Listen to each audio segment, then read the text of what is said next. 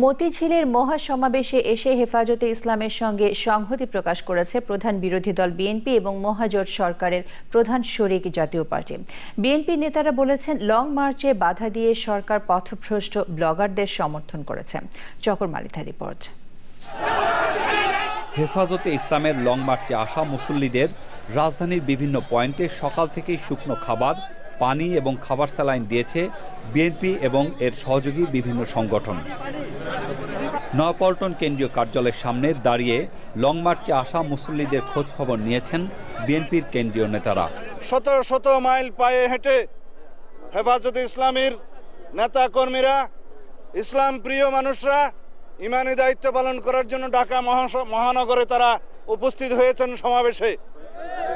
আমরা তাদেরকে এই মহানগরের মেহমান মনে করে বিএনপির পক্ষ থেকে পানি এবং শুকনো খাবার দিচ্ছি। ঢাকা শহরের বাইশ থেকে তিরিশটা পয়েন্টে। দুপুর আড়াইটার দিকে বিএনপির স্থায়ী কমিটির সদস্য ডক্টর খন্দকার মোশাররফ হোসেনের নেতৃত্বে একটি প্রতিনিধি দল হেফাজতে ইসলামের কর্মসূচির সঙ্গে সংহতি প্রকাশ করতে কেন্দ্রীয় কার্যালয় থেকে শাপলা চত্বরের দিকে রওনা হন।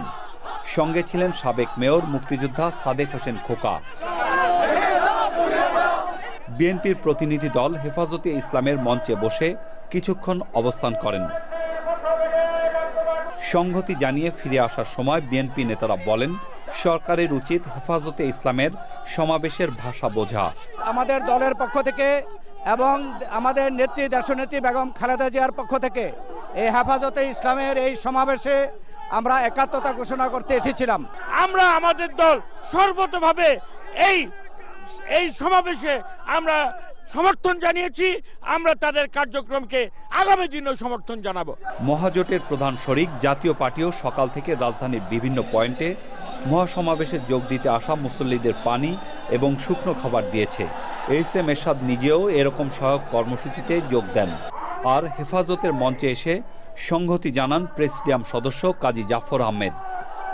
Chakor Malitha, channel I, Dhaka.